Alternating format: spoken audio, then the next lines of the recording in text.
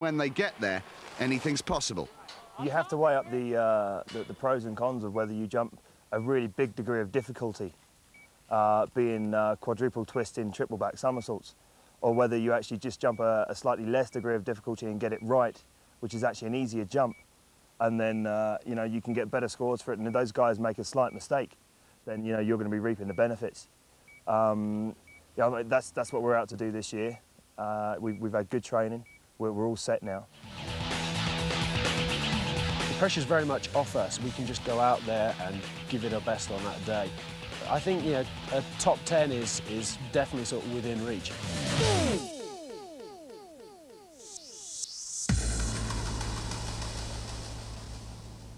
In keeping with some of the weather problems which we've experienced this week, the Olympic flame too got off to a soggy start when it was lit in Greece on Friday. It was met by rain and freezing temperatures in the mountains in the foggy ruins of the temples of Hera and Zeus. But even that couldn't dampen the enthusiasm of over 1,000 Japanese tourists who'd travelled to watch Greek skier Vasilis Dimitriadis set off on the journey which will take the flame to Nagano in just seven weeks' time.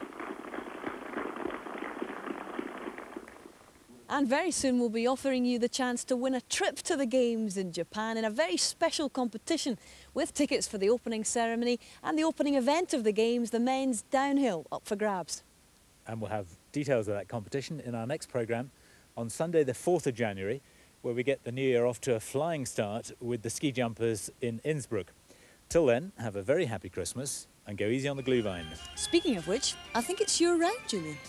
I think it is.